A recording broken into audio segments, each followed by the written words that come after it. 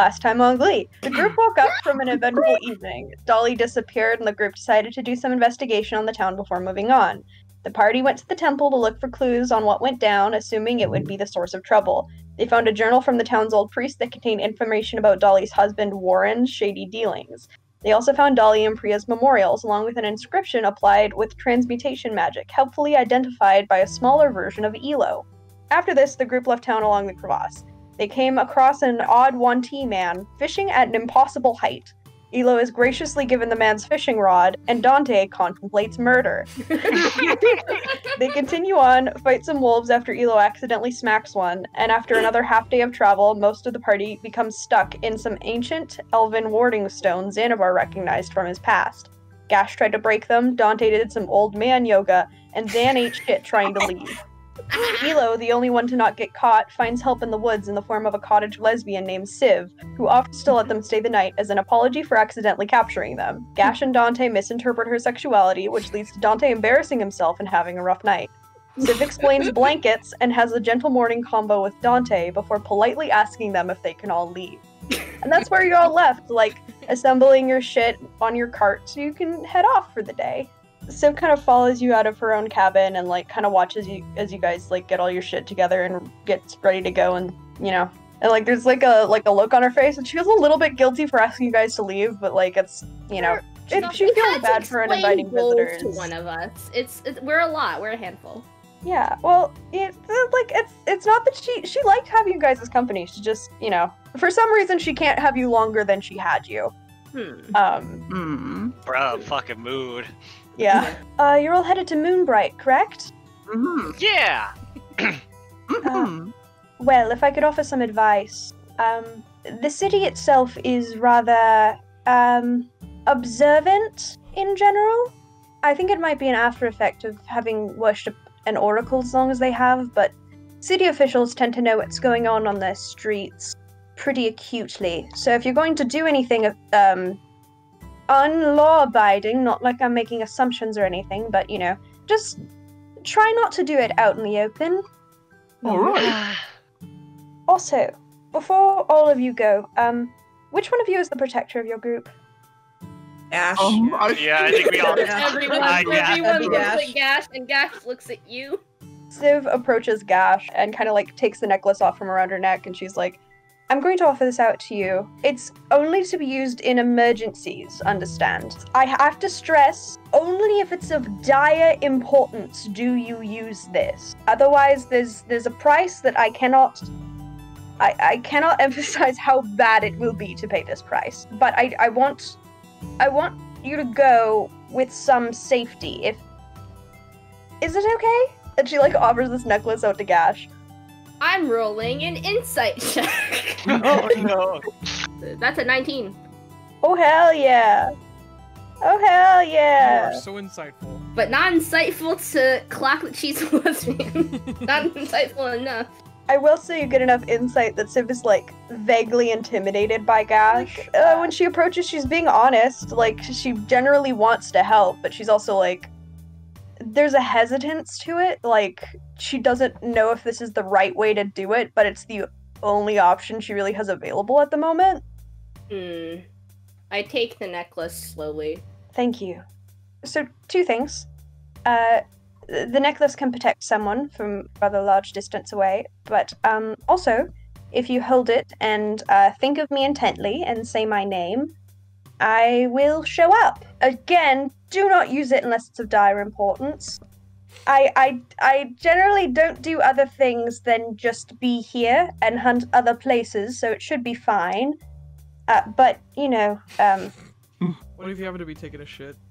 I don't know. I I'll pull my fucking pants up. I'm not that self-conscious. Alright. Does Gash need to say your name only, or can it be any one of us? Because I Well, I mean, as long as I've- somebody's holding it and says the name, um, it should be fine. But I mean, it doesn't have to be attuned to you if that's what you're asking. Mm. Hmm. I have to say it, huh? That's gonna be a problem. But, uh, I put it. Is putting it around my neck a bit presumptuous? I mean, she did give. But Do it. What- you but if I do just it yeah. That's where necklaces go. Yeah. Let's do it. It looks very fashionable. She like sees Gash grappling I- with like I'm to just, put the I'm, this is necklace. internal monologue. Um, I'm just holding it and looking at it. yeah, like just grappling internally with where to put the necklace, and is like, it goes, it goes around the neck. I put it on. It, I like put it like underneath the furs so that Dante can't fucking get at it. Okay. I kind of nod at her as a thank you. She like kind of pats Gash's arm and is like, two thumbs up, and then she walks back into her house. She's I am just standing Alright. there. bye. Don't be strangers. I look. I, I like look at what at the shape her hand is making, and I try to imitate it. it's like a little wonky. It's just like I raise a fist and the the thumb's kind of up. It's like at a fucking 20 degree angle. Yeah. and then um, I uh, I guess I'll start heading back to our cart. it's weird. Uh, before the path was mainly just like a footpath where like people could walk through, but he went through the second time with the cart and it was fine. Like I didn't get caught on anything. So the cart did come with you towards her house. I am contemplating things. That was like the most awkward interaction I've ever seen in my life. You exit the forest and Civ kind of waves you goodbye from the window and she looks as terribly awkward as that conversation like calls for. Mm. And you guys uh, go off into the distance and you go past the elven warding stones, perhaps with a scowl because they're irritating and awful. And it's a it's a pretty easy journey for the next couple of days. There's not a lot that can surprise you. You're going through grassland and eventually through like farmland with intricate little roads that go between all the different farms in the area. And the closer you go, the closer the farms get to each other. More small communities start to pop up of like little little little houses that like you know give stuff to farmers and like waypoints between that and the city. And as the day goes on, sky's still kind of gray and overcast after the rain from yesterday.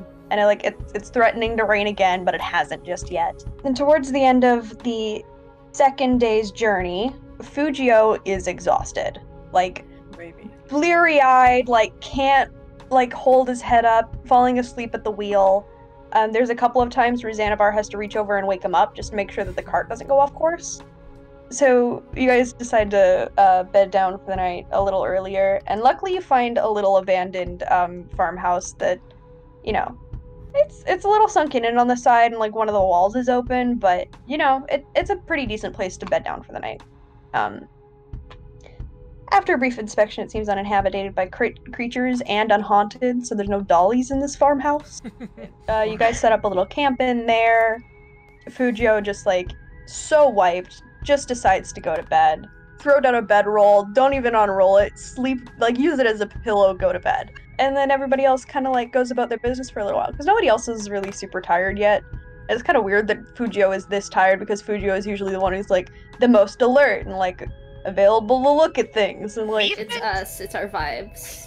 We're poisoning Yes. him. Specifically y'all's, not me. These Yeah. vibes are literally killer. But you guys have a few hours before you actually need to go to bed, so um, you're just like doing little activities. like Gash decides to go off hunting because food is important, and that's what Gash does. Food And- is important. It is important. Xanovar, kind of sensing an opportunity, perks up and uh, trails after her after a moment of hesitation and just kind of like scampers off in Gash's direction to go help her hunt, quote unquote. Ah, I, I see. I see. Okay, okay. Let's Sounds let's suspicious. Let's fucking set the scene, I guess. I imagine Gash is like she's a pretty experienced hunter. She's scouting out, looking for for any game, and she comes across like a like a deer or something, and gets into like position to like pounce, and then Xanovar's like, "Hey!" and just fucking it just scampers off. Gash, I wanted to talk to you about um when we first met basically. Um I was terribly rude to you when we were both fighting the rats together. I was very afraid of um when you went on the rat rampage, if you will. And um I really just wanted to apologize because I treated you as if you were a scary monster. When I see you now, I see that you are very capable, and I judged you before I met you, and I've I'm not used to this. Um, please, I I just wanted to say I'm sorry, and I'm sorry I'm distracting you hunting right now as well. Hmm. Uh. Uh. she just kind of looks at him. um. you know what? I'm gonna make another insight.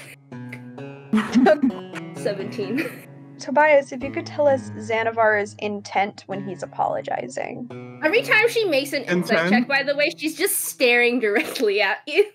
It was wrong of me to judge you because I grew up around people who were much, much, I say, larger than me. I ha- had a father that was at least around, I don't know, seven feet tall.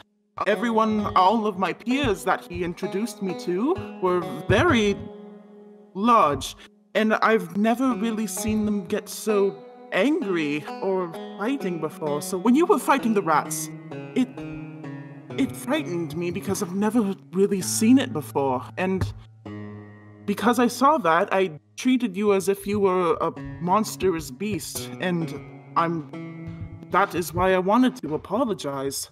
So uh, take that as you will, and I hope I explained it well. I know that you don't speak, and I am not very capable with sign language. I believe I only know a couple of words, but thank you. You have been a very wonderful fighter from what I've seen of you so far. I sign. It's okay. Thank you. Mm-hmm. And I give him a, a a pat on the shoulder. That's like my hand's so fucking big compared to you. I look thoughtful. I'm gonna roll a performance check to to try to get across something. Uh, Roll your performance check. Tobias, if you could roll an insight check for me. All right. That's not good at all. that's uh, oh no! that's a whole. It could be saved by Xanovar's two. insight check. That's a two. Okay. Okay. Could could be, could not be. depending on With the Oh, no. Natural twenty. Natural twenty. no. plus I don't Seventeen. 17. 17. Great. Ooh. That's pretty good. Uh, Okay. So what did you mean Uh, to the say? gist is I'm used to it. She's being like like very closed off about it, which is why it's so difficult to understand, but it's not the sign language that makes you understand it, it's Gash's expression that makes you understand that she's used to this Oh. shit. I can tell that you understand, and um, I won't keep you for very long. I know that you're probably very eager to be hunting. I'll head back to the little um dingy cabin. I have to say, but I thank you, Gash. I, I Uh, appreciate. before he goes, I stop him. you. Let me see fucking weapons I have. Uh I'm not gonna kill you, don't worry. Uh And she like shit. makes a motion like with a hand out while she's digging through all of her weapons to be like, I'm not gonna kill you with these. Uh, I'm gonna give myself a hand crossbow, and also I'm going to offer it to him, plop it in his hands, and then uh, any anything he has to say. What are you're giving this to me? I uh, I kind of motion for him to come farther into the woods. We're going fucking hunting, baby. well, um, I d- don't think that I I've never done this before, but kind of- she kind of makes a gesture like, "That's the point. Come on." let's go then. That, that's very cute. That is so fucking Yeah. cute. Yeah, Let's make some. Can we make a roll to see how well we do? Yes, This would be um survival for both of you. Ooh, I'm pretty Mhm. sure I'm good at that. Two plus two, which is four plus. Uh, I don't have proficiency. That's a four. Okay, so not great on Gash's part. Uh, Xanovar, how did you do? Actually, I have three plus survival. wait, you have, going, you have proficiency in survival? That's hilarious. Yeah, I, I um. Ooh, Just Then a city around? boy. city boy. Raising South Detroit. All right, sixteen then. Hey, wait, it's Xanovar plus. ends up hunting way better than Gash does, but I think that's mainly because Gash is showing Xanovar the best places to like shoot things and like Yes. how I'm to get also Rowan to be preoccupied quiet. with trying to explain it without talking. Yeah. So I'm like gesturing and I fucking step on a branch and they just fucking scatter. I'm like, fuck. Yeah. So Xanovar ends up doing really good hunting, and Gash uh, is is more about teaching than hunting at the moment. So That's fine. So Mhm. long as so long as we have so long as Yeah. we catch them, I'm happy. I'll say you guys catched a few rabbits because rabbits Yeah. are pretty big, and like it's night, so they're kind of sleepy. Side note, while I'm doing this, I also show him like the rites that I hmm. do while like preparing and like catching animals. So it's not like the rat rampage was like an isolated incident. Usually I go out of my way to show respect for these animals for um, that I'm that I'm killing. Yeah. I couldn't do that with the rats because they jumped off the cliff before I could do anything. Yeah. So it's a pretty easy hunt. You catch like three rabbits, and while all this is happening, uh, Dante and Elo are just hanging out by the campfire. So you guys are sitting over by the campfire, uh, making sure that Fujio is okay, and Fujio is sleeping very still, like a fucking rock. He's dead. Uh, He's still breathing. You can, see his, I- you can see his chest move up and down, Yeah. but you know. oh, Elo was hundred percent gonna check his pulse. You can make Uh, a I'm gonna- medicine. I'm gonna do that. Oh, good. Punish I have a minus one to medicine. Oh Right. no. Oh, 18! Oh, Fujio is definitely alive, and it's a little bit disappointing to you because that would have been a corpse to loot. Ugh, Oh my god. Oh, evil. bum, bummer. Yeah, so you sit back down, kind of bummed out that Fujio is still alive, and you sit down next to Dante. What is Dante doing? I'm popping open um, one of my nice bottles of wine. Ooh, Elo's just gonna kind of stare at it. He's ignoring you for a little bit. Or I'm ignoring you, I'm sorry. Oh, anytime Dante is gonna look over at him, Elo just quickly turns his head back over away. at, some point, eventually, I, I kind of realize that you want it, and I do want it, Please, I take a I take a very long swig and I hand it over to you. Silently. Elo's just gonna kind of like hold the bottle. Don't He doesn't. Re- he really doesn't. He's like looking at it like, don't really know what to do with this. have you have you Um, drunk wine before? No. I will go ahead and pull one out and pour him a cup of wine. Oh yay! And I pass it to him. Okay. You drink Uh, Yay! It. You drink it.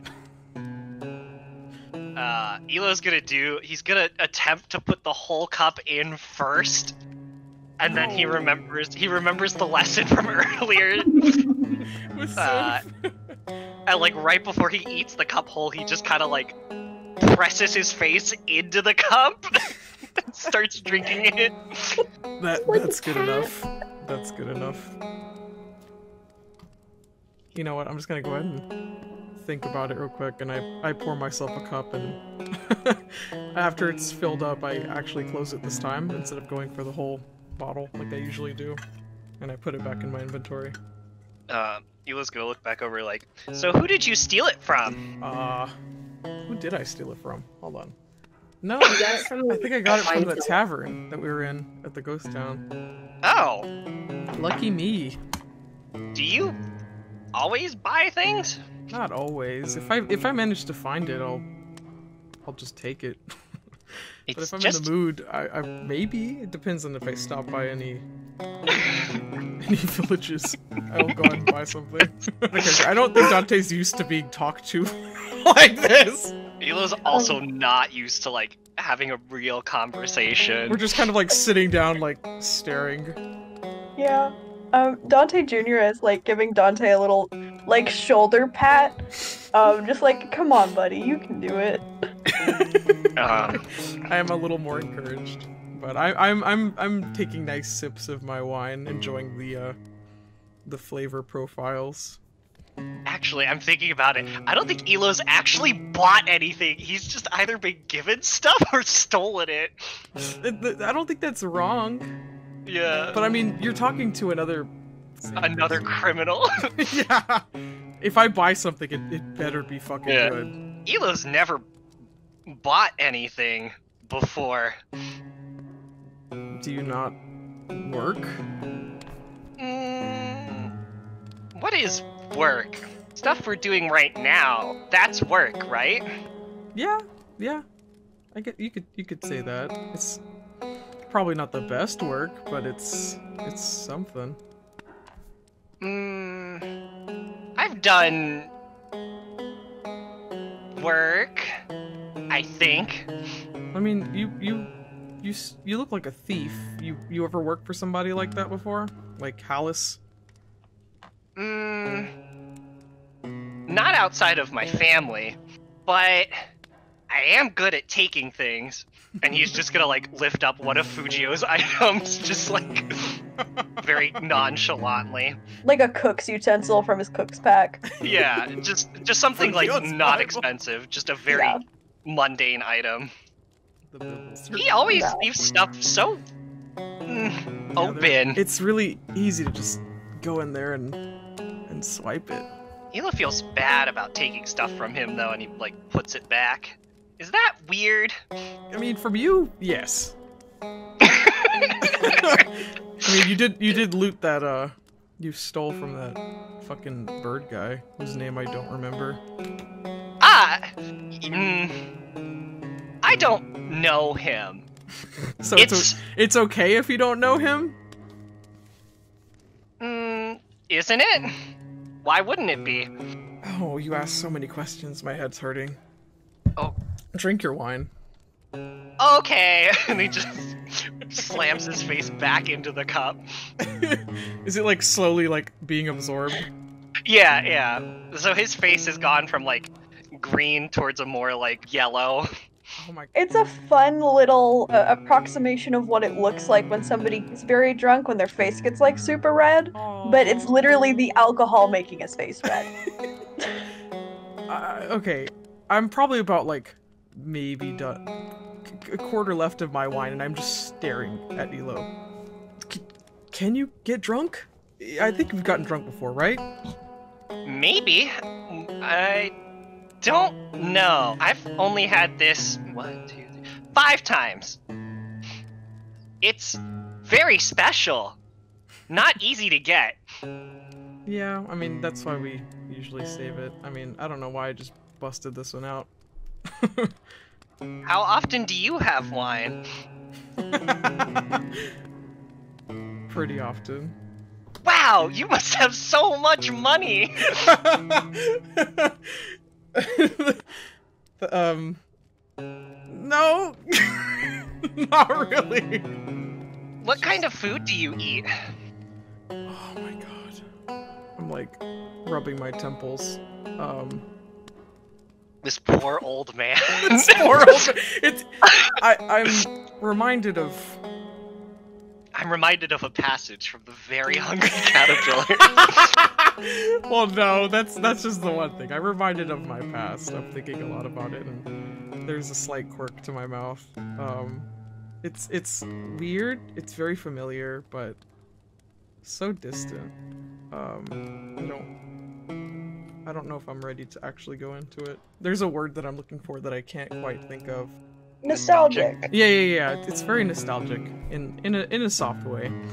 Um, it's like being pestered by a child, and it's it, it's making me feel something. I'm probably not ready to get into, but Elo, could you roll an insight check for me real fast? Sure, I'm Thank bad you. at those. Oh, not 20. Oh, okay. Okay, well what do, what am I gonna give you at that? Holy shit. Um in a wild, very strange moment of clarity from Elo that isn't usual uh, for him, you get the sense that uh, Dante's been through a lot of shit, but having this conversation reminds him of one of the sweeter moments of his life that, like, has been tinged with a lot of bitterness. Oh. Elo's just gonna, like, do like a one, like, stretch his arm all the way over for like a one armed hug, but from a distance. oh god, I think uh, a full a full belly laugh probably comes out. And then, and then in a moment of like pristine clarity, Elo just like straightens up and just like, if you want to go fast, go alone. If you want to go far, go together. That's why we're a family. And then he just kind of goes back to finishing the wine. I need a minute. Mm, That was adorable. I'm just gonna, um, I'm gonna, I'm gonna, I'm gonna get up and uh, step outside. I need a breath. I need a, I need a Okay. cooled outside breath. Once he goes outside, uh, I'm gonna take out my daggers and I'm gonna start sharpening them. Okay. So you guys kind of fall into somewhat weird silence, but like comfortable in the fact that you guys have a firmer understanding of one another now. And we will jump back to a, a few a few moments in the past with Fujio when he's asleep. So Fujio, you go to sleep and expect to find calming darkness, the kind of deep slumber that comes with being tired an entire day and just falling asleep the moment your head hits the pillow. Instead, you open your eyes to find a banquet table. The settings around it are humble, but upon closer inspection, they're covered in intricate and immaculate carvings. There are interpretations of wind, mountains, skylines, birds, and winged bugs. In the middle of the table, a silver platter sits waiting to be opened, with like one of those delicate lids on top. It's it's very like presentery and like it's the kind of thing that you would expect to have a bunch of food all around it too, but it's just that on a Mm. very empty looking table. Um, Are there like chairs, or is it just a table? uh, there's two chairs. There's the one you're sitting in and the one across from you. And then also across from you is a very small bird. Uh, it looks similar to a dove, but with the features of a songbird. Um, and it's a very, it's a very pale, like light powder blue with darker blue accents on its feathers. And it just kind of like does that kind of thing that birds do when they're curious, where they like cock their head at you. And the bird speaks with like a full human voice. Hello, Fujio. I've been trying to contact you for some time now. Hello. Hello. Uh, sorry. This is. Is this real or? Dr- I'm I'm dreaming. I'm asleep. Is. Is this Yes. like an actual contact, or is this my mind playing tricks on me again? Because I know sometimes dreams are just weird. Oh, no, this is very much me trying to contact you. Well, then, can I ask, uh, who are you? Oh, I don't think you're very familiar with me or my kin. My name's Sistiel. Sistiel. Uh, if I'm not familiar with you, is there a reason you're trying to contact me? Well, I'm in a bit of a bind, and uh, I'm sure someone you're very acquainted with is also in a very similar bind.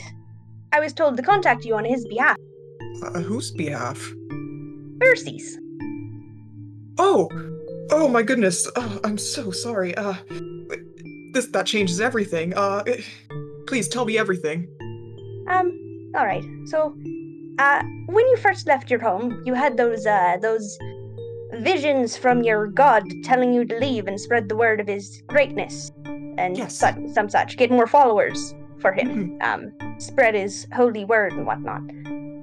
Sorry to say, it was a little late on his behalf, and, um, certain things are being set into motion. Certain things. Yes. Uh, I I guess it requires a little bit of explanation. Um, all right. So, only so many gods can live up here before the natural order requires some sacrifice on behalf of some of the gods who live up here.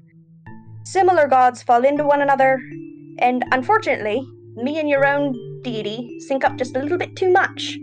I don't want to alarm you, but Versi might not be around much longer. I'm sorry. I that doesn't make any sense to me.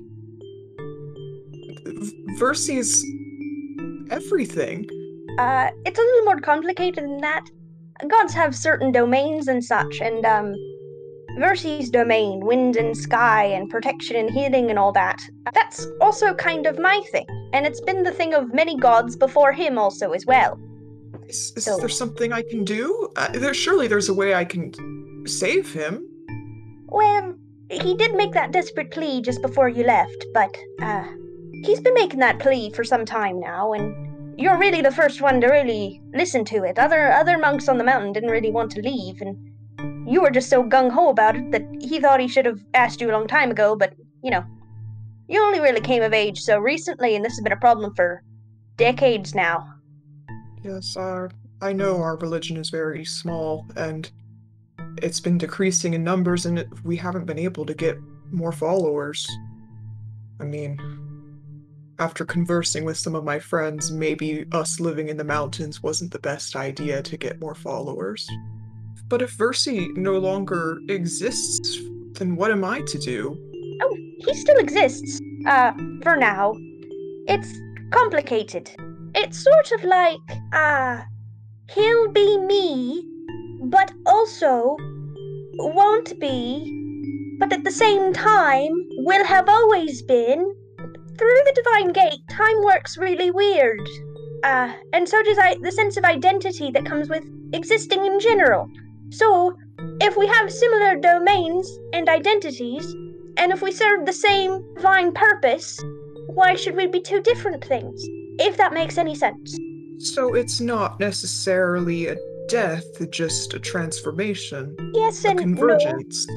It's like this is a very weird metaphor, but if I ate him, he would become part of me in that sense. So, you know, his energy and his being would be me, but wouldn't have any say in the matter. If that makes sense. Although that is a rather disturbing imagery, that does make sense. I'm just not sure what I'm even supposed to do with this information.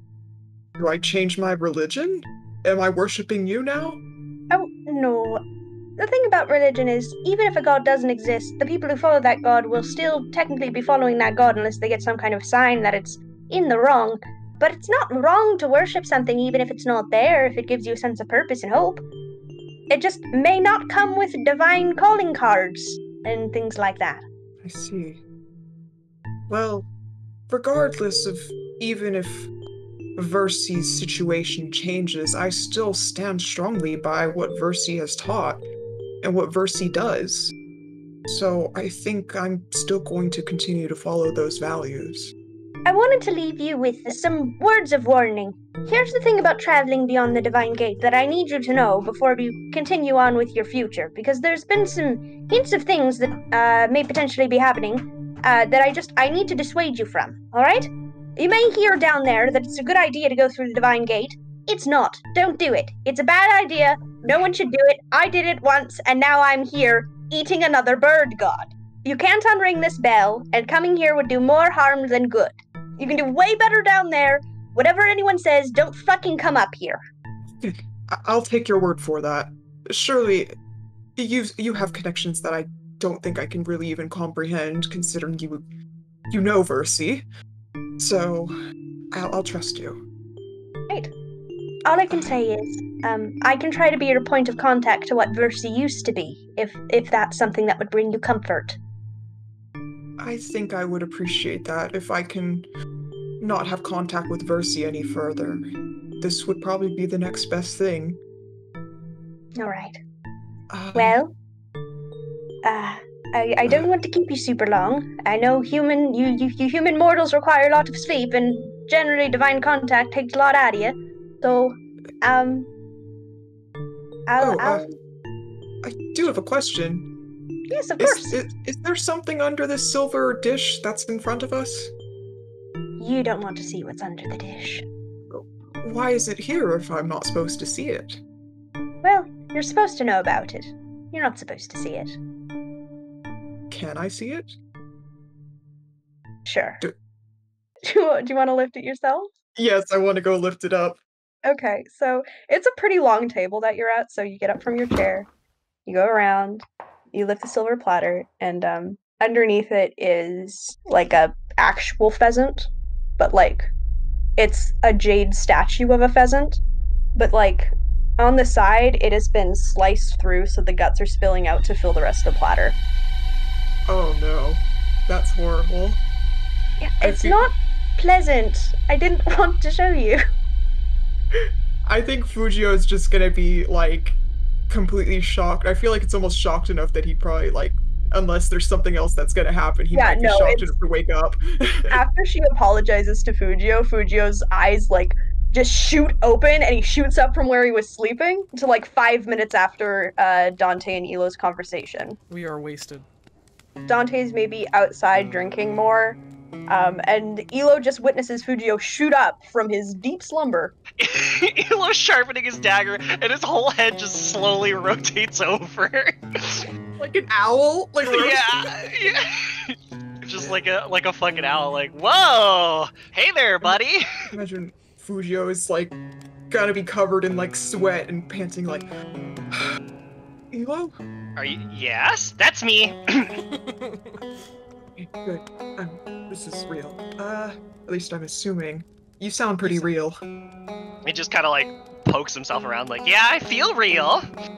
Are you Like, it's real? a- It's just a slight, like, slight laugh out of Fujio, where it's just like trying to calm his nerves down. Like Dante's just sitting out on the porch, but there's no wall there. Is that correct? Yeah, like most of the walls have kind of crumbled. Uh, It's mainly just like support beams and like one major wall that's blocking off the wind for you guys. Okay, yeah. So I mean, I feel like he definitely fucking can hear this. He's got elf ears, and he just turns around, but he's he's just watching. He's not really getting up yet. Sorry, I had a pretty, uh, shocking dream. Though, uh, hmm, mostly my own, my own fault for making it shocking, it seems. What is a dream? What is a dream? Do you, Elo, do you, what happens when you fall asleep? Mm, I don't know. I wake up. You don't, you don't see anything? You don't have fantastical visions? Anything like that? Mm, no, don't think so. I Well, then- I, I walk over to you guys and sit down next to y'all. Well, normally for other people, when we fall asleep, we get to have dreams, and that's when we see things. Usually it's just our memories mixed with fantasy, and uh, sometimes there are divine messages, and I think that's what I received. That sounds whack. that sounds whack as hell. It is pretty whack, I have to say. I offer one of my um. So, what kind of my- dream my did you have? Wine to uh to Fujio. Fujio's kind of gonna stare at the bottle for a second, because he's just like, in his head, Oh. like, normally I don't do Elo, this. Elo gets his cup and then pours him a cup and then hands it over. So Fujio's still gonna like take the cup, he's gonna be like, thank you, and he's gonna stare at it for a bit before just like taking a big swing of it, like downing almost half the cup in one go. yeah! Woo! Ooh, big man on campus. Okay. Looks like you needed it, buddy. Sorry, sorry you had to go through that. Things are getting kind of complicated up in the world of the divine. Uh, it's not really my place to understand, but things are very different. I don't really think it's anybody's place to understand. what kind of place is it? Is there treasure? Uh, it's a place apparently we should never go to. So, well, I guess we'll never know. I don't think any treasure there is worth going there for. Mm, I don't know. Treasure's Elo. pretty appealing. Elo! You don't you don't know Elo like he does. Elo about to commit sacrilege. So you're saying if I dream, I can go to where the higher place and then take all the treasure. Elo Elo, I, I think I think Fujio's just fucked up. Mm, Listen, yes, that might be true, but that's not the reason this is I, I don't think the average person has ooh a fucking dream about my god, look at me, I'm special. N- nobody has that. You, that just Oh. means you don't have divine connections like I do. does that mean Fujio's lying? No! I never said that, but I'm not gonna deny it. Do you lie? You don't He's seem gonna- like a liar. Fujio's gonna take another big sip of his drink. oh no! Hunter, I want you both to roll insight checks for me. Elo can tell. Elo can tell when someone's lying. Oh shit! Thirteen. Okay, that's a 13. So you both got 13. That's enough to let you know that this has shaken him and that at least Fujio believes what he is saying. I feel a little bad. Elo is learning to understand the concept of dreaming, so Anyway, you don't have to believe what I'm saying. I don't care. I mean, I do care because this is all because we weren't able to get more believers. Fujio's like very frustrated, like holding his head, looking down. I think maybe you should just have the rest of the bottle. I really shouldn't be. You really should, actually. I think it would yeah, help out. What I do when I feel bad. it's it's very good. Y'all are enablers, but Fujio's in a bad state right now, so he's gonna go for it. Yeah. You don't think I know what I'm talking about? He's a man who looks like he needs a drink. I respect Yeah. that. I'll say while you guys are having this little drinking circle while Fujio is like contemplating the death of his god, uh, Gash and Xanovar come back. Gang's all here. We got rabbits, baby. I We're fucking- home. We have food. Oh, I've never felt so alive. That was fun. I have like sticks in my hair. I'm like, yeah, yeah, yeah, yeah. I like nod. Welcome back. I smell wine in the air, and I'm like, It is a fun little clash of vibes when uh, Gash and Xanovar come back, because Gash and Xanovar are like, fuck yeah, hunting! And Xanovar's like, I learned a new skill! And Gash is like, I made a friend! And the rest of you are like, drinking with dread. Fujio, like, just, On the verge of Pain. just like full depression. pain, pain and suffer. Yeah. Except Elo. Depression. Elo's not sad. Elo learned about the concept of dreaming. It's a very awkward, uh, like, feeling when you walk back into the Yes. fucking farmer's I That's set too I set tense. down the rabbits for like Xanovar to prepare. Like here, you, here, here you go. Like, like I taught you how to do this. Now put your skills to use. And I like I can like fucking smell the despair in the air. so I just kind of I just kind of uh, walk up to to Fujio. I'm gonna roll an insight check to see how I think he's doing. I guess because I wasn't here. I think I can tell he's sad, but Elo is hungry, so he's gonna move over towards the Okay, let's see. rabbits. ooh, that's a nat one. Oh, oh no. Oh. Okay, what were you attempting to do? I was doing an insight check. Usually I'm good at those.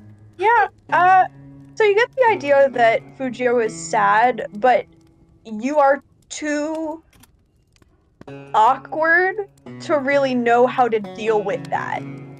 I like s- I, I I I fucking walk into the camp and I just see him like this and then I like walk in another direction. Yeah, like fully just you just leave. Like you're outside again. There's there's no way you know how to deal no, with that. one, no, no, no. One friend's good enough for today. No. Yeah. Just no, no, one. No, no, no, no. No, That's a no, no. tomorrow problem. That's a tomorrow problem. I want Fujio at this point to be like pretty drunk. That's fair. You already, Yeah. know, you already know where I am. Yeah. I'm rubbing Fujio and Dante are like, It's fucking okay, smashed buddy. together. It's okay. My god hates me too. Fujio looks over at Xanovar, just be like, "What did you bring? What'd you catch?" Uh, rabbit, I know that you cannot eat this, but uh, but I did see a little bit of fruit, and I did bring it home. Uh, uh if you are hungry. Elo's Nothing gonna fucking attempt to- matters anymore. I want to attempt to eat a whole rabbit.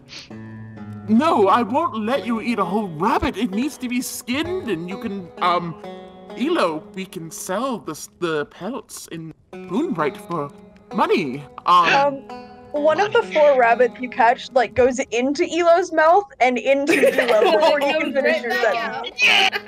out. Elo, spit that out. Can you can you spit it out? Uh, he just like he just kind of expels it from his body. Ugh, um. Minecraft. Well, it does smell good, but let's not tell anyone that when we are selling this that it was in your body.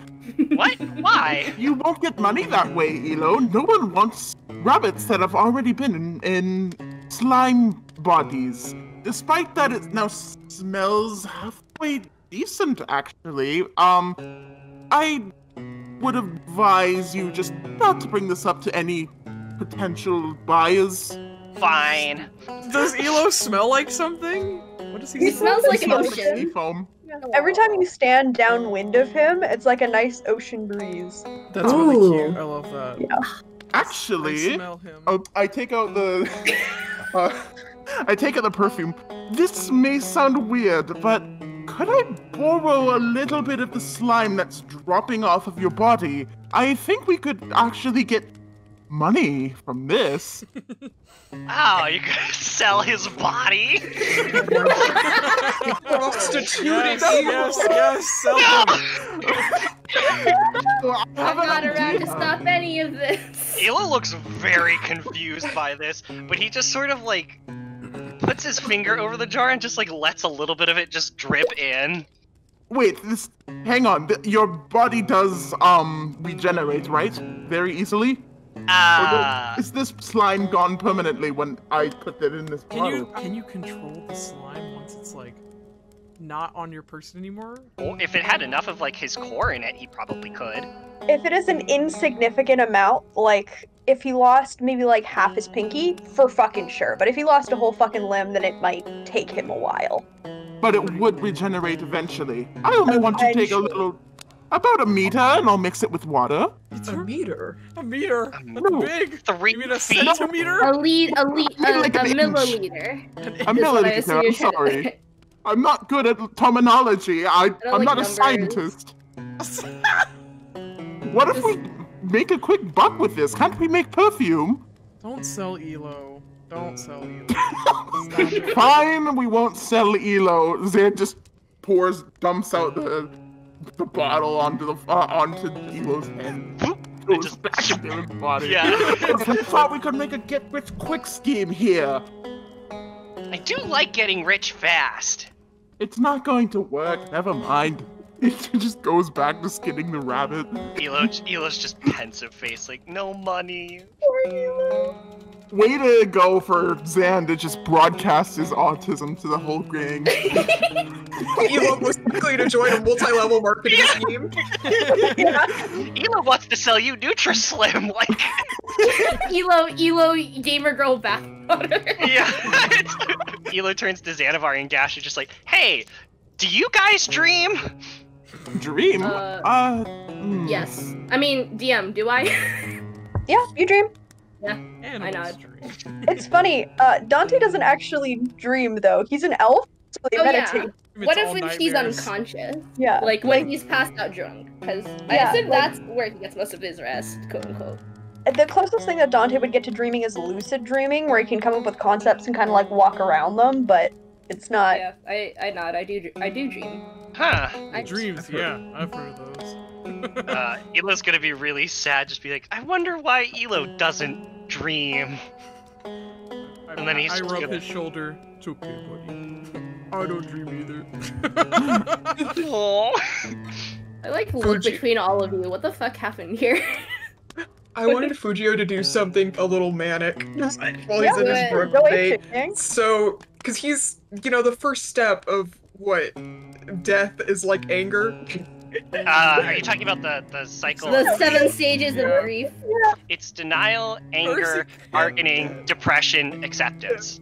Of Yeah, course, you can do them out of order. It doesn't necessarily always happen in that order. That's just the general curve. Yeah, because I imagine he's he's in a bit of an angry state right now, which is why whenever like uh, he's asked what Xanovar brought, and Xanovar was like, "Oh, it was like rabbits, but I got you some stuff too," and Fujio's like, "It doesn't even fucking matter." So once the food's done, I want Fujio to just like tear into the rabbit like with his teeth, and it's not even like caring about like cleanliness. It's just Jeez. like, like a rabid Oh, animal. Oh, Kind of I'm actually, I'm, I'm gonna say this like as as Dante's interpretation. You're going to, you're gonna get the He finds you're this gonna, very you're gonna get so sick because you've been What? a vegetarian your whole life. Exactly. When you transition immediately from that to just mm. eating meat out Dante's of the fucked food, up. you're gonna he get sick. Oh yeah. He's like he's gonna be tearing into this and like literally like a couple like once he actually as soon as he actually swallows it, he runs outside and immediately vomits. That is Aw. so unbelievably sexy of you, King. I look Elo's at gonna watch him do that and attempt to do the exact same thing, ripping into his food. You're also such freaks. Oh, I'm gonna take my pelt, I guess, and uh, sit next to the fire for a while. I'm like, I'm trying to piece together what happened, but I didn't get a read on Fujio because I stepped away, and now I'm just like, so you're drunk and you're talking about dreams, and Fujio's sad. Hmm. Fujio had um bad dream. Elo is also purple. It was very condensed to just the face area because he put his face in the cup. I just look at all of you. Once Elo's done, he's gonna go back to working on, on sharpening his knives. Uh, eventually, Fujio uh, wipes off the vomit from his chin, comes back inside. At this point, everyone's like the same level of sleepy. Um, being that angry and having that stressful of a dream makes Fujio sleepy again, despite having just gone to bed. Um, yeah, and the evening passes. Before he goes to sleep, Elo's gonna like basically like I will have a dream. I'm gonna make it happen, and he's gonna attempt to dream while he sleeps. Just Be right back. I'm trying to think about what kind of role that would be. uh, You just, wisdom. Wisdom. just Yeah, let's do let's do a wisdom and then a performance check. okay. So four for the wisdom, performance. Oh, a three! Okay, great. Nothing happens that evening, but the slime, like the slime that makes up the core of your head, it's kind of like it's kind of like gyrating as you're asleep because that's what you think dreaming might be. Sorry. Yeah. Um, great. So it's the morning. You guys kind of get ready. Fujio's a little despondent, um, and kind of like keeping their I'm very hungover, I assume. Yeah, and hungover because that's probably the first time he he ever drank, and then threw up. Your mouth must taste like like poop, like ass. Hot Like, garbage. It smells like ass. Yeah. Stinky. It's a very moody morning at the at the decrepit farmhouse. Yeah, and you guys get on your way. Uh, all going back to Moonbright. Is Fujio gonna drive today? I don't think Fujio is capable of driving. I driving. don't. I don't think we would let I food think- drive. Okay, Fujio like, sits in the back, and um, I Xanovar and Dante are up front. Which one of you is driving? Me. I'm driving. Uh oh. You both go for the reins. I will shove your twink ass right out of the way. The second you even walk towards it, I will stick my hand right in front of your face and just push you and sit down. no! Don't hurt him! Should we really be letting the senior citizen who was just plastered last night drinking? I had a good, persuasive night hunting last I night, and I got a like wonderful a night of sleep. baby. Actually, thank you very much. Look at yourself. You're I hungover. am going to walk between them I know and how to be a handle the drink. Thank you barrier. very much. You And don't me. whoever fucking gets to the reins first gets there. Um, I want you you can both to him. roll dex checks for me. I was gonna say, then Or- Xanovar, you should probably run. He's already halfway there. I got a 19, not including the plus two that I have in dexterity. Okay, so you got a 21. Xanovar, what is Wait, your five? dexterity check? Oh, oh. Five. When Gash Wait, like wait, wedges hang her hang- head between the two of you from the back of the cart, um, and both of Mm. you are like holding on to the reins, uh, Gash's face scares you to jumping off of the reins, and Dante now has them. No! No, my friendship. I'm well. Someone's driving the cart. I, st- I, my, my head retracts. Uh, once Gash's head retracts, Elo's gonna like stretch out his body so that just his head is hanging out in between them. Are we really going to let the senior citizen who was just plastered that night drive? I can't believe you people. Uh, You know, I, last time I checked, I don't think twinks are capable of driving. Dante like kicks up the cart and it starts moving, and Xanovar just spends the rest of the journey pouting about how the old man is allowed to drive. And you guys get on your way. Uh, you're following these similar farm paths again. Um, these little these little twisted areas. You can see people at work on their farms. You can see like like little animals occasionally, like when you're on a road trip and like you look out the side of your car and there's like a cow in a field and you're like cow, and then everybody turns to look at the cow. I look Uh, at the cow. I look I at the cow more intensely than I've looked at anyone in the party. I'm, I'm imagining it's Elo doing this. Like, look, horse, That's so Look! fucking cute! cow. I know what these things are. Yeah. Since our little chat, as awkward as it was, I'm sorry that Dante's like this. He's kind of starting to see Elo in a different way, not not in like a bad way or like a really good way, but because of you know what he had thought about that he reminded him of. I I, I could say the fondness is is starting to be a little more apparent. It's- So I'll say as different. as Elo's pointing these things out, Dante is like looking behind him with like a little fond smile on his face and like quickly turning away and like trying to wipe it off so nobody can see. I want Elo to experience a dream for the first time at some point, but it's literally just like a solid color or shape. And that's it. I dreamt of Just like- blue last night. what did what did what did you dream of, Elo? Where? Square. It was very in- riveting. As you navigate through the fields of harvest crop, the dramatic crest of the Moonbright Temple fades out of the ocean fog. From hours away, the city of Moonbright manages to carve an impressive silhouette, branching out its importance to the area around it. It clings to the slope of an ocean cliffside, with the lowest point catching the tide and creating a tide locked island during certain hours of the day. The closer you get, the easier it is to pick out details. The elven wall that cuts through the middle of the city, the stark architectural differences between some of the districts, the multi towered Temple Peak. Your approach is marked by sea air, the increasing bustle of city noise, and a slight awe at the array of people you see. Carts move past you, people going about their day, each of them vastly different from the last. The city is populated with bestial races, from Aarakocra to Tabaxian Tortle, Leonin, Kenku, Lizardfolk, and Yuan-ti. Any creature that has found an evolution to sentience has found their way here. For a lot of you, it's a new experience. For Xanovar, the sight of the lower district's humid clutter is a welcome comfort. You all enter ah. through a gate in the lower wall, not even high enough to reach past your cart's basin, and through an artificially lifted stone roadway. The lower district is assembled of stilted houses, some built into apartments and businesses, and wooden walkways, with everything linking together. The further you travel, the higher the buildings get, the more intricate their construction becomes, until eventually the raised road hits rock, and the climb up Moonbright's hill to your destination begins. So, you guys are in the low district right now, which is where the tide pool is. Basically, it's like these houses built it, built on stilts on top of where the tide comes in for the ocean. And you're just about to enter the old district, which is like built on more solid foundations. Okay, question. Have I ever been here before? Am I traveled? No. No. Can But I, I? was I was aiming to come here. Have I ever Yes? been here before? I, I'd say Um, that you you've been here a couple of times, but you haven't stayed here for very long. Elo hasn't been here before, right? Nope. Okay. I would say Dante can roll a history check. Um, and oh, that was a nat uh, 20. Woo! Whoa! Okay. You've That's you've been here for 20 a lot of this town's history, actually.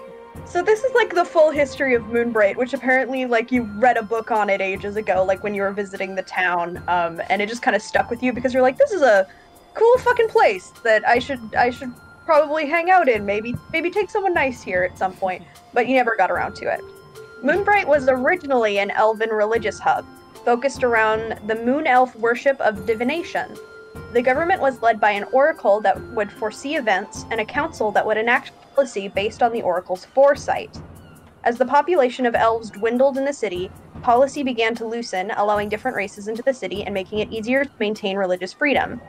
After Um. the destruction of the Beastocratic Isles, which happened like a couple hundred years ago, Moonbright was tasked with housing many of the refugees from the Isles. Eventually, the city grew to accommodate this new population boom.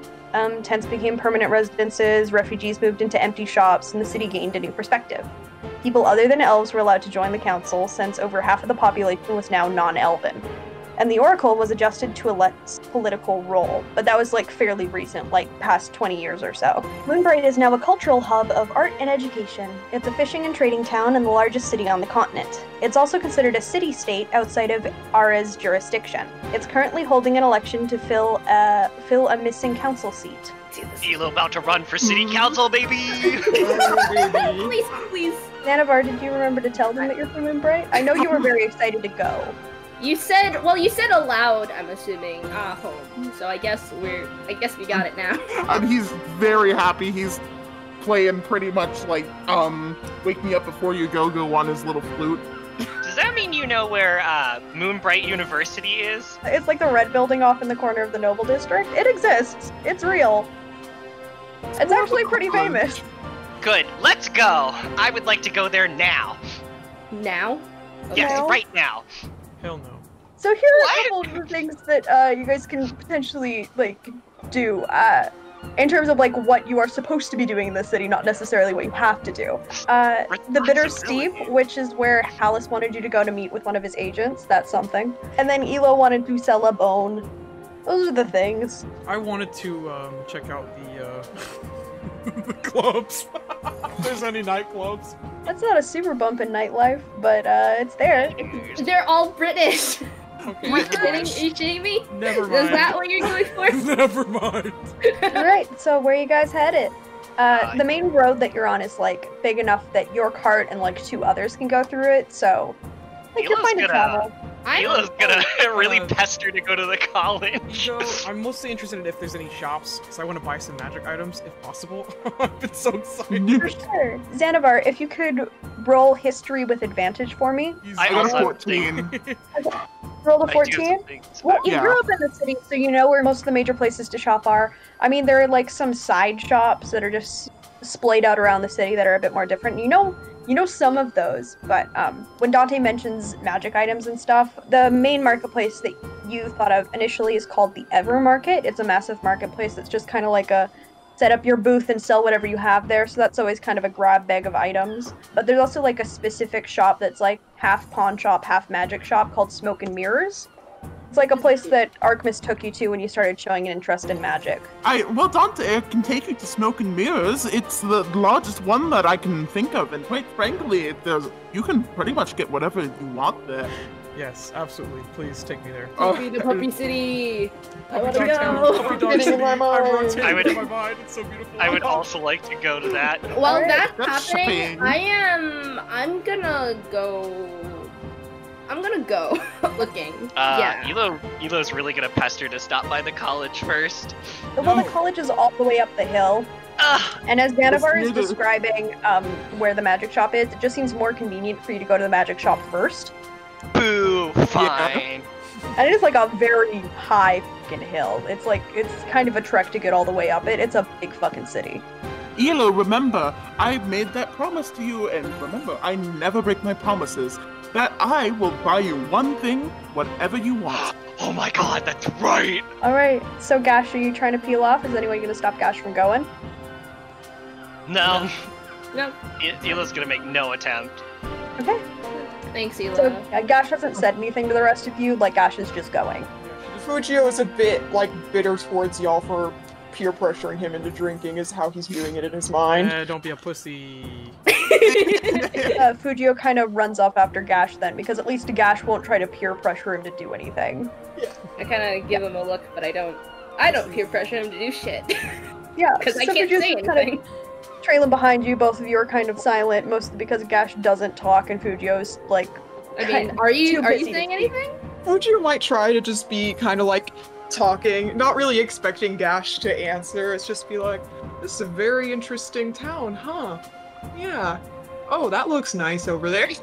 He's in denial. He's, sight- he's Yeah. sightseeing. Sightseeing, essentially. Just kind of trying to keep the mood lively and up, because he feels like Yeah. shit right now, but he's like, God, I'm gonna try. You're probably make gonna have to okay." run, cause I'm I've got big legs. uh, the strides that I take are Hey, are. um, have any of you guys seen Surf's Up? Yes. Yes. You know the little When I was, like, a bird with the little legs? Yeah. That's Fujio.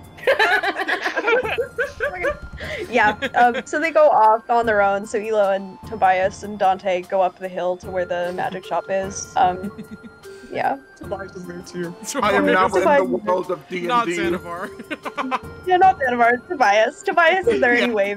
Uh, yeah, so you guys go up off, uh, go up the hill to the magic shop, and it's kind of like through a couple of uh, back roads.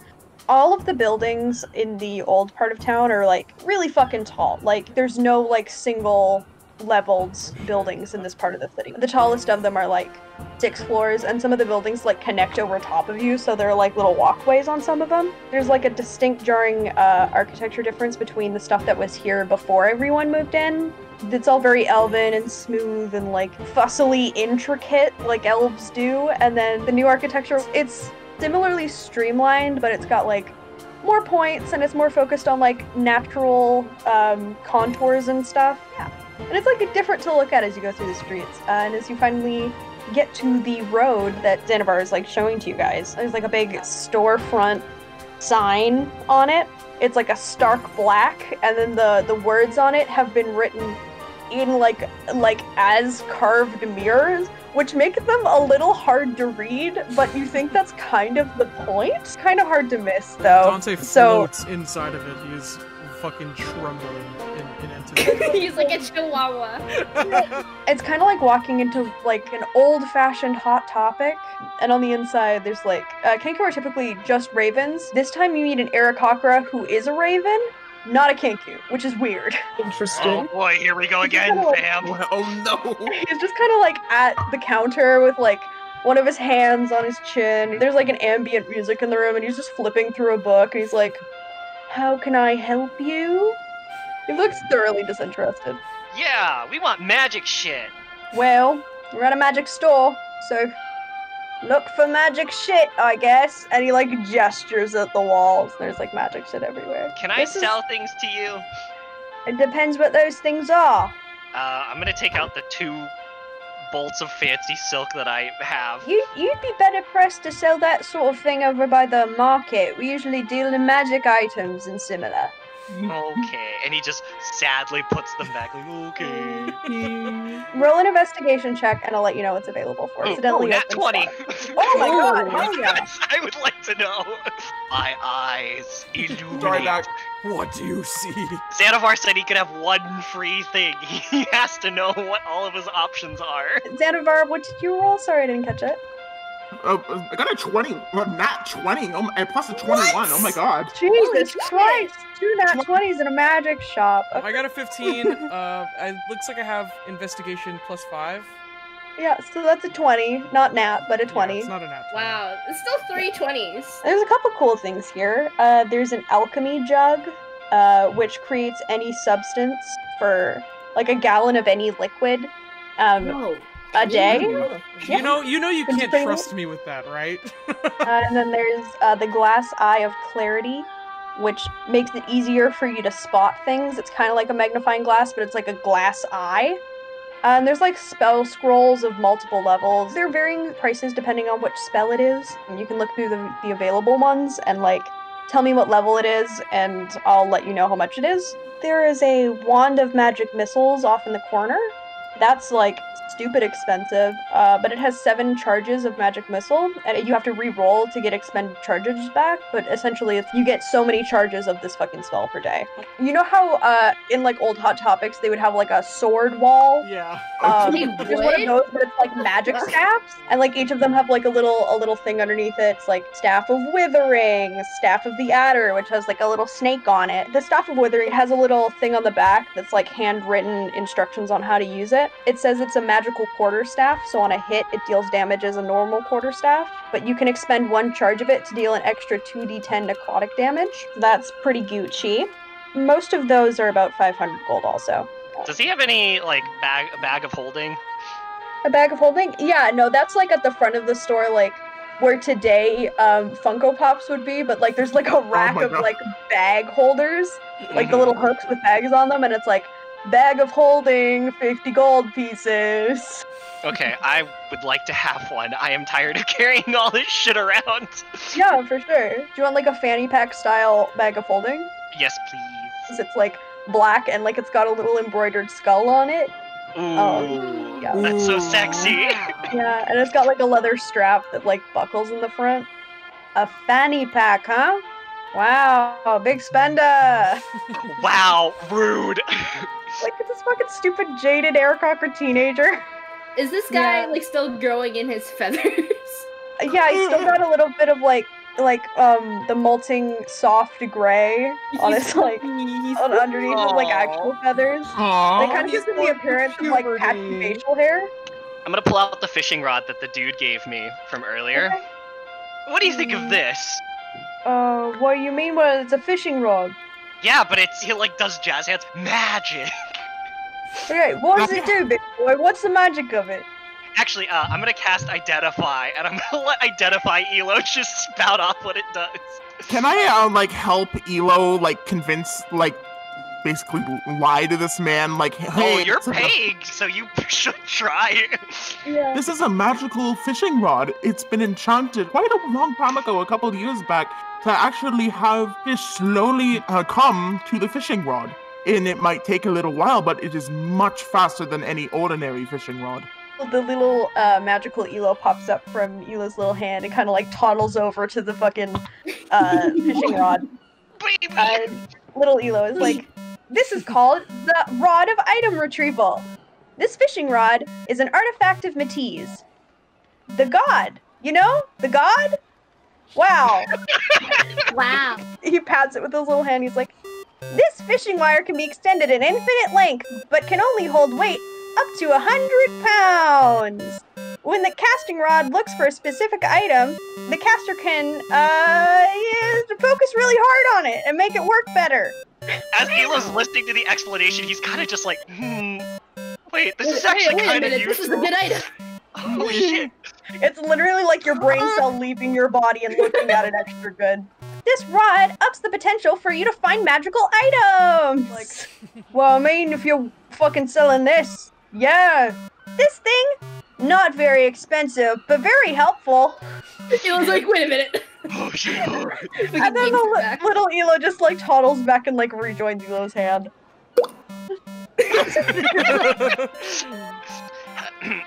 How, how much would you buy it for? He's like eyeing it, like.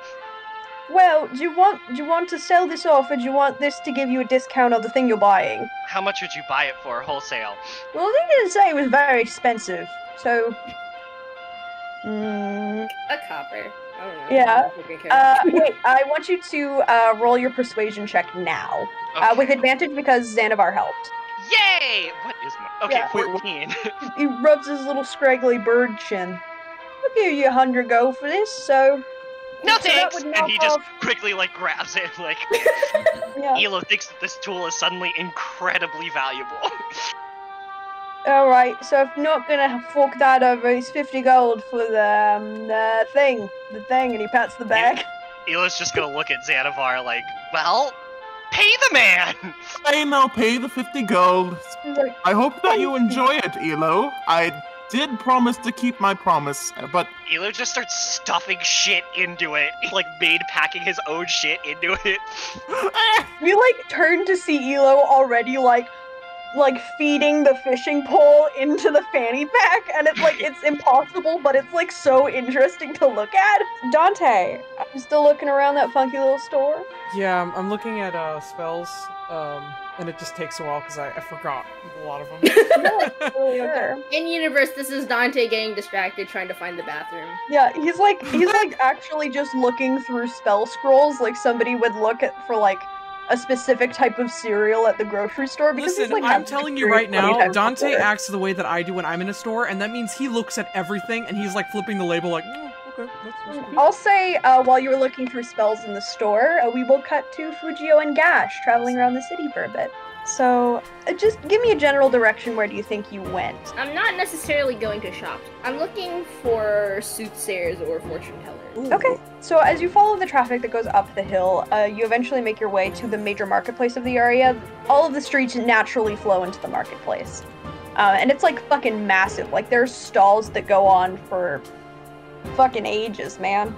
And there's like little tents and stuff too. So, like, you kind of walk around the area and you know that weirdos generally uh, congregate where things can be moved quickly so they can get away quickly. And soothsayers are generally like, you know, whatever. At least that's what you think. Um, this city is known for its oracle, so it has a lot of uh, m- merchandise, I guess, related to that. So there's like a lot of divination shops, like little divination corner stores and stuff, where it's like, would a soothsayer be there?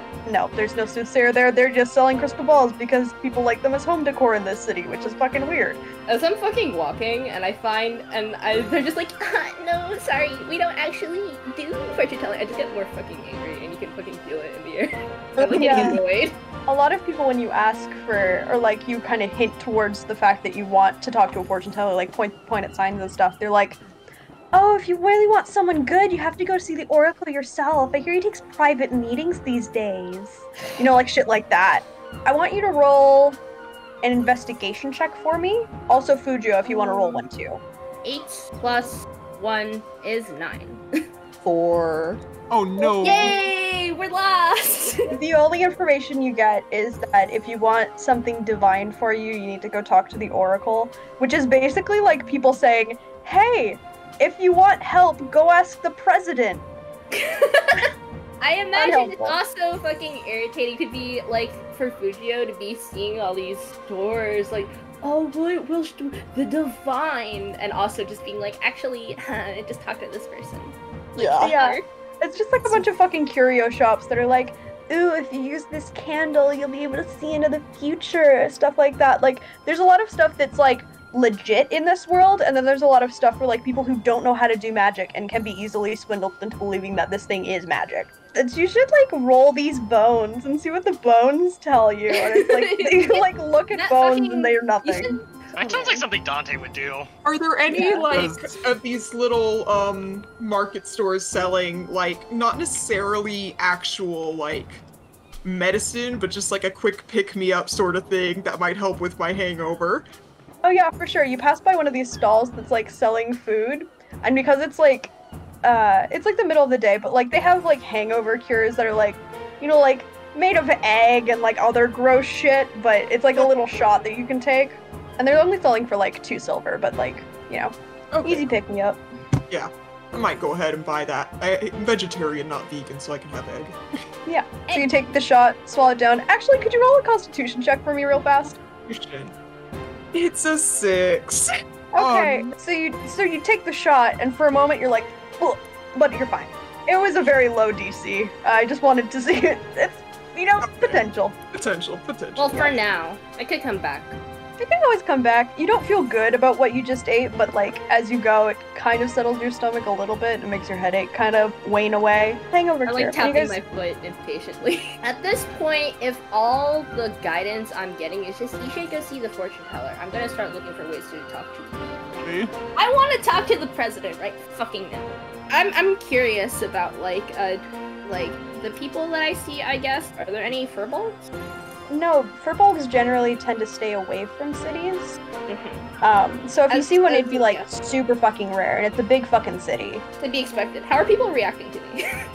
Well, like they're kind of used to big beast creatures in general, so like seeing a large cow woman is just like never seen that before, but it fits in with the area we're in. People are more weirded out by Fujio, if anything. Really? Yeah, there's not a lot of tieflings in this city. Very sad looking people. For, Yeah. for one, like, Fujio's the one getting weird looks and not Gash. Everything's going wrong. Yeah, so you end up wandering around for a little while. Dante, how's the spell hunt going? There's so many. I have Ice Knife, Disguise Self, Detect Magic, Charm Person, or Absorb Elements, and I'm having the hardest time trying to figure out which one I should go with. I like Ice Yeah. Knife because it's it seems pretty nice. Also, he's cold, so I can pick two out of all of them. Um, Yeah. My Disguise kind of- self is good just for like traversing, like if you don't want to stand out and you're like in an area where there aren't like drow and stuff, you can disguise yourself as a human and not get clocked as much. Mhm. Some of us have that as like a trait, but most of the time it's like a spell. Yeah. The That other one could be one that you go Absorb for. Elements because Dante is very squishy. I'm, I'm probably gonna want to go with Ice Knife and Absorb Elements just because I think they're cool, and Ice Knife seems really fun. Um, All right, so you take the two scrolls and you bring them over to the counter, and um, this dude for the past little while has just been transfixed watching Elo move his entire inventory into this fucking bag of holding. So he has to be like jarred to look at you and deal with all of your shit. yeah. He's like, "All right, how can I help you?" When I place the scrolls down, I don't say a single word. Okay, great. I'm Uh, that'll be fifty gold, at him. please. I pull love out how my- we I have pull the out my bag of social money and I place 50 gold coins on the table. He takes the 50 gold coins, like slides them across the table, puts them in his palm, and he puts them in the little register that he has, and he's like, Take your scrolls then. It like makes a face at you. Dante smiles. He does the fucking deep fake uh, Face app face smile. app smile, takes the scrolls, and then he walks away. Yeah. Okay. Um, cool. So do you guys exit the magic shop? Uh, yeah. Um, you do have four scrolls of sending that the fucking dude sent with you. So if you want to contact your party members and get back together, you can do that. They're like, w- w- I messaged Gash. Why isn't she responding? Gash, She must please be dead. respond. Mm. Milo's certainly not gonna suggest it. He's too busy putting things in his baggie. Yeah, he's like in the cart, desperately trying to like fit the dinosaur femur like in. The nature of the bag type that you selected means that some of the larger items you have just like aren't going in great. I'll cut a bigger hole. If you guys want to go to the market and meet up with the other two, that's a thing you can do. Yeah. I'd rather just do that now. Yeah. Okay, Yeah. so you guys head over to the market afterwards so you can sell some of the other like stuff that you're lugging around with you. Uh, if you tell me what you want to sell, I can give you prices for it, and then you guys can add that to your inventory. Gash and Fujio come in from the other side of the marketplace and you just kind of meet in the middle. Gash and Fujio are both a little bit grouchy. What happened? What happened? Elo made money. Why are you guys sad? Well, we were we were trying to find some sort of divine fortune teller, but we just kept finding people selling hogwash. Why are they selling hogwash? That doesn't seem very good. No, Elo. They mean that they're selling junk and lies. Like they should snake sell oil. harder. But I did buy uh, some sort of hangover cure elixir, and it was pretty bad, but it, I'm feeling much better now. I'm shaking my head. Is there any left? No, no, that was for me. Also, you don't even have a hangover, Elo. Yeah, but what if it tasted good? It doesn't I'm taste still shaking good. my head. That was the stall right back there. If you want to go buy some raw egg. Mm, no. no spend money, only make money. See, I'm trying to think if there's like anything that I'd want to buy in particular. Books on new gods. You could buy some brass knuckles and get like a like a plus to your melee fighting if you want. That might be nice. So like you go to a blacksmith and fucking look at the thing and then you see the these fucking brass knuckles um and you're like I have a lot of pent up anger. This could do a lot of good for me. I'm still feeling the anger in the stages of grief. Yeah. So they're like these like brass knuckles in a contour around the finger on the bottom so it's not as hard when the impact hits and then they've got like a raised bump on top that are like little spikes. And I'll say they add like a like a plus 2 to your damage when you hit. okay. Where do you want to go? Where's the I want to meet this oracle. I'm looking for Elo's instructions getting on how to meet very the impatient. Zan wants to go uh to go to his house. He doesn't care about the shops Well, anymore. Oh, Elo doesn't forgot. care about Zan's feelings anymore. Did he ever? yes, he did. Everybody started taking too long. Elo has not discussed any bit of his plan. My parents are taking too long at the shopping mall. I I believe it. must go. I'm going to college. I don't care if anybody's coming with me, so if you guys are busy, I'll go alone. I mean, Elo's interested. He's just, he's being he's, really he's bratty. excited to sell this bone. Yeah, he's just being really bratty. It is getting darker outside because you did travel a whole day before getting here. So you might want to find a place to bed down before you start exploring this city. Zan wants to go home. Once, hmm. once Elo kind of realizes it's getting dark out, he he kind of rumbles like a, Ugh, go tomorrow. yeah, he kicks the ground, passed out a little. Nobody talked to me, I Anything ain't. Angie. No, it's Nobody, okay, Andy. nobody wanted to do what I wanted to do. It's like when you go to Disneyland and you really want to go on the fucking roller coaster.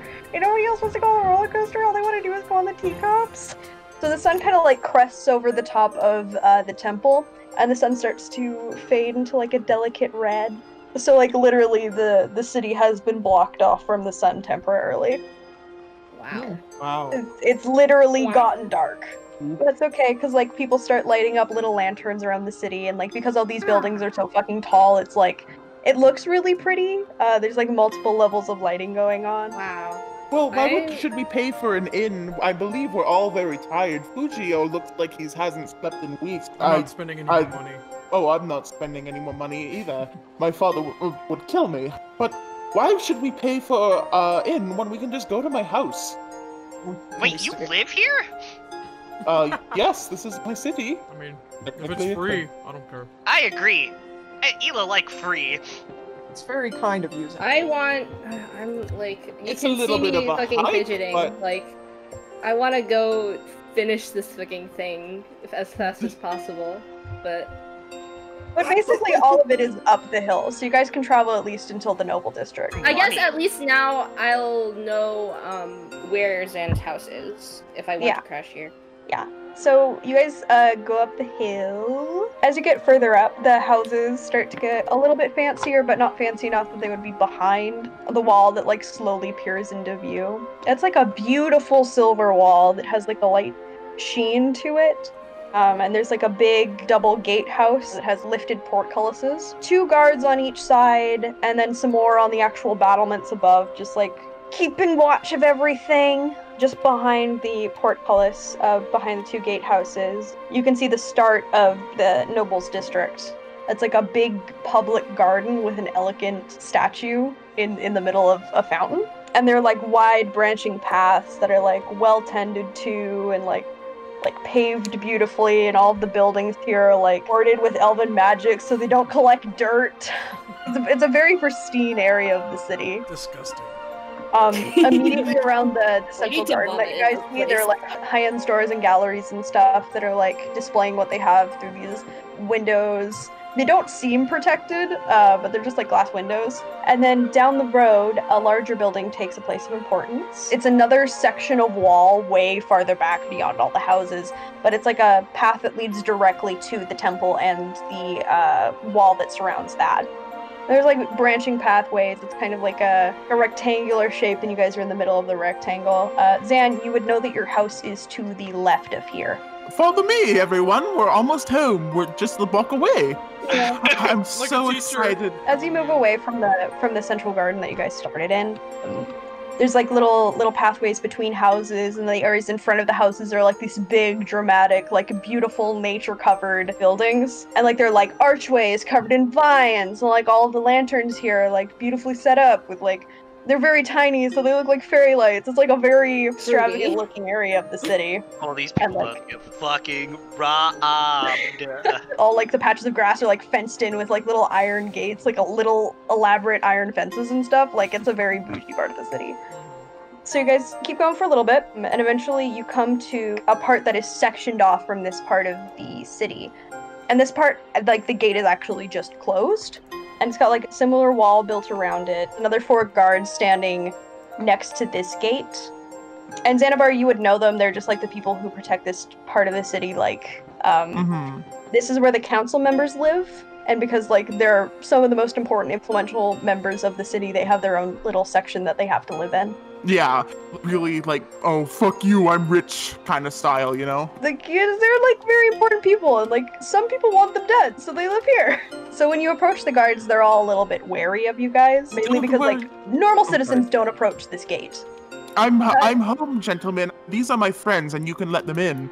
the guard you address initially is like a tabaxi guy who's pretty tall and he's like square shouldered like he's not scrawny like a lot of other tabaxi that you've seen and he's like wearing the full guard uniform and he's like oh um you're Arquis's kid right Yes, I am. uh, i the- got bad news for you then What?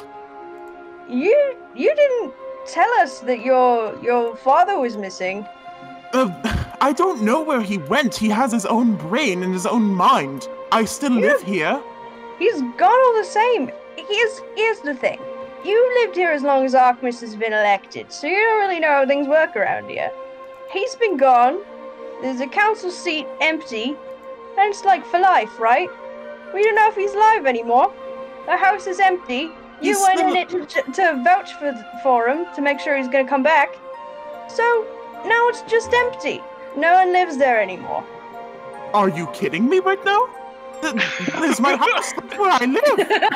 the city's holding a re-election to refill that seat and therefore the house so we can't have people who ain't on the council in the house I didn't spend multiple months searching for my father to uh, to be kicked out of the house with no word from any sort of god. This is absurd. You now have to let me in my own house.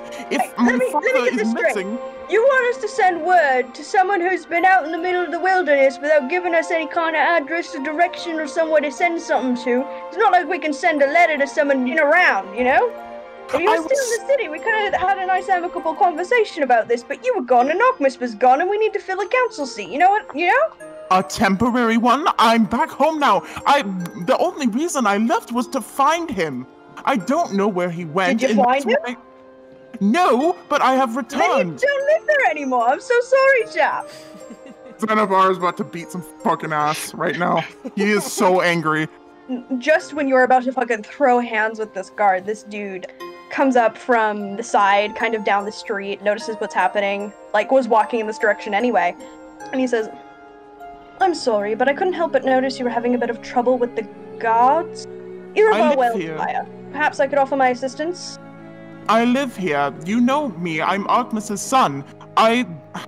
I, live do here. know He you. won't You are. Arquis's kid. I've only recently started living here. I have an apprenticeship with one of the other council members. Um, perhaps I could vouch for you.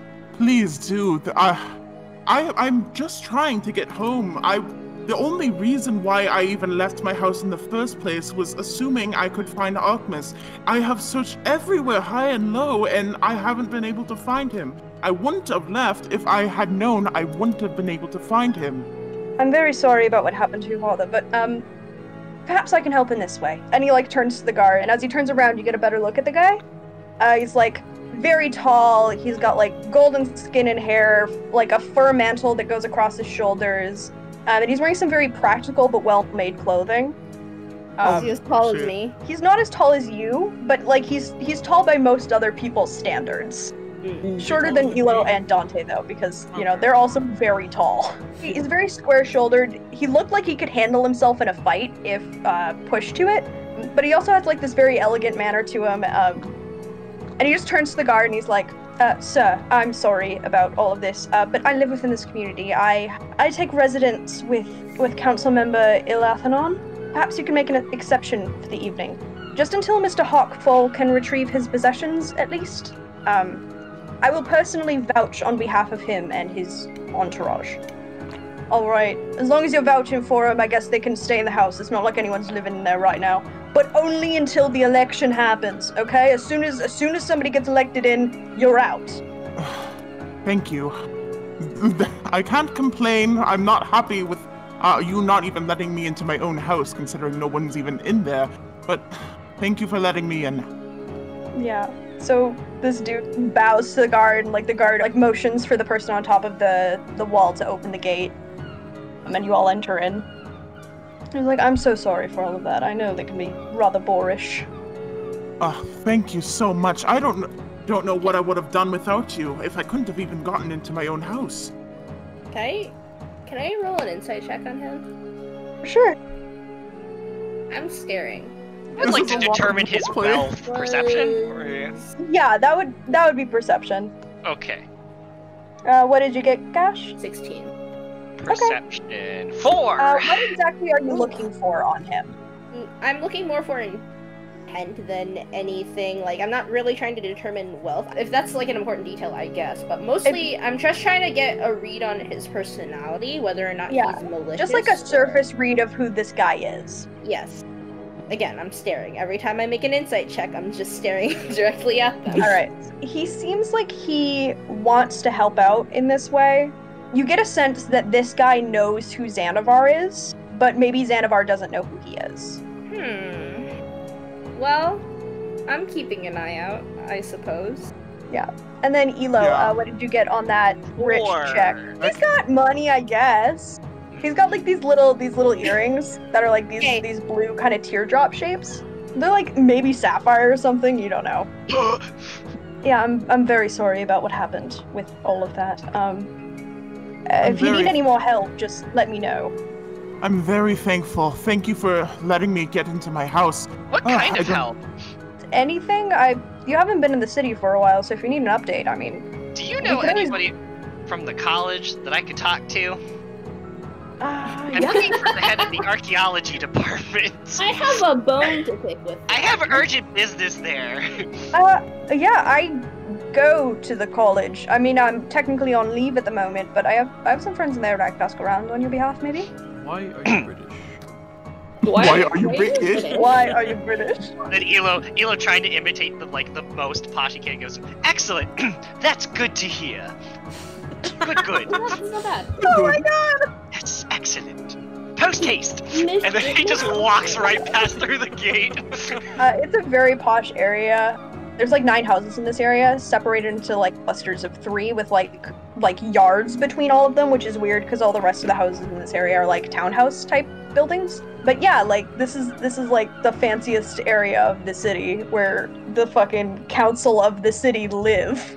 Yeah, and each of the This house has like boy. a slightly different design element to it, just to distinguish them all from each other. So this dude like follows you guys in and is like, "Well, I'm I have to go back to my place." So, I mean, if you need anything, I I want to sign to him. Um, do you know where the the, the oracle. Uh, please, okay, make a performance check. please, please. Yeah.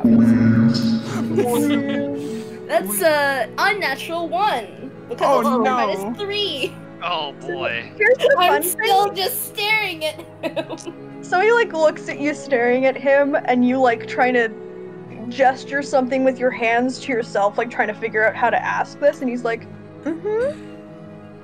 Cool. And he just looks away.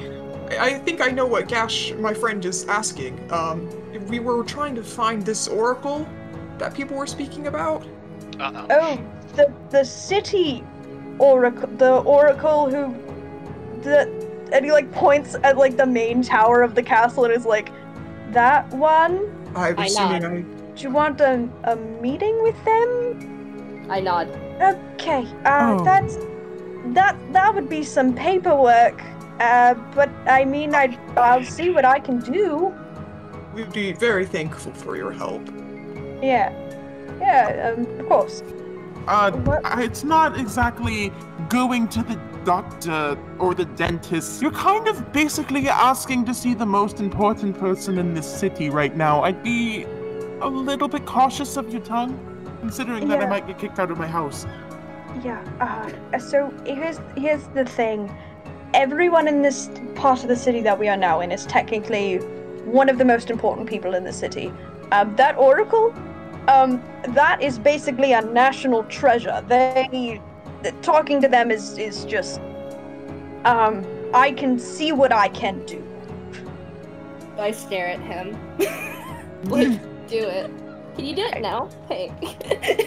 hey, buddy. I um I'd have to ask uh I'd have to ask uh the, my my council member if that's uh, something that we can do, uh, which is probably going to be a whole conversation. So I don't know about that one. Uh, but we will try. That is, I'll I'll put in a word. Okay. I cross my arms and stare at him. That's that on that. That's that on that. Uh, so I'll go. I just, I'll just. And he just starts, starts like pointing behind him with his thumbs, like at the house that he's supposed to be going to, because it's like obvious that this dude has like work to do for the person that he's apprenticing for. I'm going to uh, go. Uh, again, it was lovely to meet you, Xanovar. Heard a lot of, of good things about you. Uh, just and he just kind of like shotgun, like finger guns, and then just keep walking. Thank you, I'm very appreciative. Any anytime. he just keeps going. When he's gone, I make like a hairball cup and go there. Is he like an elf or something? He's a half elf. So oh, you're the son guys- of a politician, huh? Good. Yes, I'm important. No, I'm, I- I'm, I, okay. I did. I asked that out of character, but uh. Oh, oh, out of character. The thing okay. is, I can't, I can't say these things, but I want to say them so bad. I'll say it for you. So, you're the son of a politician? That must mean you have lots of money, right? My father does. He do- he is very cautious to what he gives to me, and I only have a hmm, monthly allowance. But to be fair, I am pretty cautious of what I do buy. Mm, I don't think so. He's hold, holding the bag of holding. I'm allowed to splurge. It's not like I'm in poverty. Yeah. How could we tell? so he's got money. I'm assuming you guys are having this conversation on the way to Xanovar's house. Yes, absolutely. Listen, my father is a very important man, and the reason why you even know who I am right now is because he. So wait, He's missing. why missing. were you put in jail? Because When I was in that town, you were all in jail too with me, and I was giving a speech on why uh, um we need to take care of the homeless and why we need to uh, clothe the the ones who don't have it, and we need to heal the sick. And gods uh, arrested me for making a scene, and I got very angry at that because I was just. I'm trying to make the world a better place. My father has told me many times that I I have to make Moonbright better. He is a very important man, and I guess technically I am too. So if he's so important, why is he not here? Yeah, why did he go missing? That seems important. That's what I don't know. I. It's. He's kind of fidgeting a little bit where he stands. I don't know where he went. That's why I went on uh, this journey and how I met you. I was in that town giving a speech since I had before I was arrested. I had saw a little bit of injustice beforehand with a man who needed food. The whole reason I went on this journey is because he is missing, and I've been trying to find him, but I ha- I have had no clues uh, as of now. Elo, Elo at that just kind of like embraces him a little bit, just like, I get that feeling. He's out there though. You'll be okay. And he just kind of like pats his head. I I turn to Xanovar and I sign Oracle. I um, mean, if we're looking for missing people, right? I agree. You know, we do hey, need hey, hey, you're right. You're actually Hmm. right. Maybe we can figure out where Dolly's daughter is. I nod. We might be able to, but I'm sorry. I'm just incredibly nervous. I've spent such a long journey just trying to find him, and with no clues, I. And now with potentially getting kicked out and being on the streets, I. I'm very afraid. I have to be honest. I don't really know what to do. I, I know he isn't dead. I know in my heart he's not. He's a very capable man. He wouldn't just disappear, but uh, he wouldn't just die. I don't understand, and I can't So- find him. Xanovar, if I may, this might be Mhm. a bit presumptuous of me, but among nobility, I'm assuming your viewpoints aren't very common. A lot of nobility aren't really all about helping those in need, they usually want to hoard the wealth. Um, could this possibly make uh, your dad, your father, a target? I sign enemies. Uh, um, uh, I don't know. It, it might, Hmm. but, but wouldn't that make me a target of all things? I, for me, all I, my dad is just a, a wonderful man. I don't understand, and I don't know how I to mean, find him. Okay, a, a lot of good people sometimes are wrongly killed. But he wouldn't just disappear. He is a very incredibly strong man. He is uh, is the same height, if not taller than Dash. How could he just disappear? I sign not killed, left. I would agree with Gash there. This seems very unusual. But he didn't even tell me beforehand, which is what I don't understand. I woke up one morning and he was Sometimes gone. families don't tell each other things. Yeah. You know. At Very this point, you guys get to Xanovar's front door. Xanovar, are you an only child? I am, from what I know, at least. That does make it very unusual. Oh, What do you Maybe- mean? Well, you know, whenever we talked about how family, some people were, like Elo suggested that family sometimes doesn't say things, but if you were his only child, that just makes it seem even more unusual he would just disappear without saying anything to you. Uh, Elo was also an only child. Oh, well, um, sorry, I Your don't know that much. statistics seem inaccurate. I, I'm going based off of what I know of families. I don't, I don't have any experience with this. Maybe looking for something. But to just leave without telling me is what I don't know. Uh, Something important. but What without was he like right before he left? He seemed to me completely normal. At least I didn't see him packing any suitcases, but I guess he seemed a little bit fidgety before he he disappeared. But f- from what I know, I woke up one morning and I was the only one in the entire house besides me and the butlers. You have Oh. butlers? Look around you. of Xanovar course there's opens the door to his house. Um, and uh, when you open it, usually there's somebody who like greets you and like gives you like a little like a little snack when you come in, or like offers to like take your coat for you or something like that, because it's that kind of fucking house. Um, Yeah. But when you get in, the house is empty and it is slightly dust covered, and it seems like nobody has entered it in a while. I was Mhm. expecting more. This uh, this house has been inoc- in, inoccupied for a little while now. I I haven't been here. I would have kept it clean and, and kept it running if I had been here. But I Sure, haven't. sure, Um, Dad. Your, Hey! your father was paying for this house and he's not here, so I'm assuming whatever taxes are supposed to be paid are not being paid, which is why you're being kicked out. don't think that's. Uh, They mentioned something about a council. The election. Yeah, whoever on the council must be who gets to live here. See? Would your father maybe have any enemies who would want to take his council position? Not that I know of, not besides the general party's enemies. I don't know why they'd single out my father so much. From my perspective, they're all the same. We might be lacking a lot of information to solve this mystery at this time. But I'm I'm really ah, I'm really praying that uh, maybe I mean last time I received a divine dream it didn't go too well, but I'm hoping that maybe the next time I talk with Celestial things will go better. Thank you. Elo's gonna start just rummaging around through the house. So everything everything that was left in the house when Zan left initially is still in the house. I'm gonna do. I'm also gonna Time to follow them. snoop. I'll do a perception check to see. I'm what's going to on. snoop. I want things. It's not technically Xanovars, it's the cities. I got 12 on my perception check as I'm just Uh, walking through the halls with Elo. Uh, 17. Yeah, for sure. I will say that we uh, we can end the session with um, you guys starting to explore in the house. It just seems like a really good place to end at, like in Xanovar's house. Right, agree, Yeah. yeah. Looking for my papa. Papa! Maybe he's in the house and we just didn't know. He, he was the Victorian child at the beginning. oh my god!